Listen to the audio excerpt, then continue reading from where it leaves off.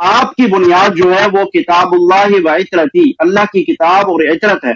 आप अगर मुझे किताबुल्लाह, जिस किताबुल्लाह को आप मानते हैं, ठीक है, जिस पर आपका ईमान है, यकीन है, अगर वो किताबुल्लाह आप मुझे दिखा दें, वो किताब उसको, जिसको आप मानते हैं, वो किताब अगर दिखा दें और इतरत रसूली, और इतरत रसूल के जितने भी जो उनकी पैरवी है, जो उनके इतबा है, जो उनका रास्ता है, उस रास्ते पे चलता अपने आप को साबित कर दें।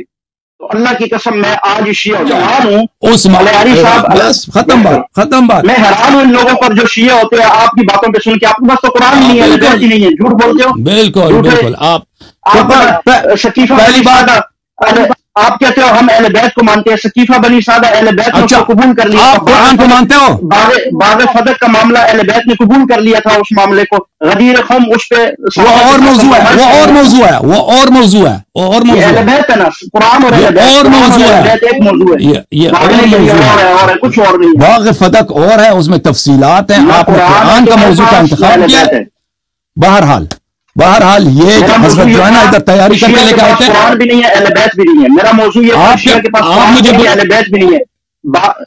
अबू बकर तो चले आप एक मेरे अज़ीज़ मेरे भाई आपसे एक एक मरतबा फिर मैं एक सवाल करता हूँ। देखें अगर आप खुद कहते हो सवाल मैं कर रहा हूँ। मैं कुरानी के मुतालिक आपसे आपने तो मेरे किसी एक सवाल का जवाब नहीं दिया। मैं अपने सवाल को दोबारा तकरार करता हूँ। आपने मैंने जो सवाल किया उसमें से एक का जवाब दे दो।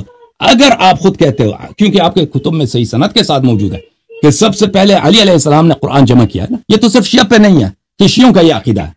ये तो आपके कुतुब में भी मौजूद है सबसे पहले अली सलाम ने कुरान जमा किया। आप खुद भी कहते हो, ये मैं सिर्फ़ नहीं कहता।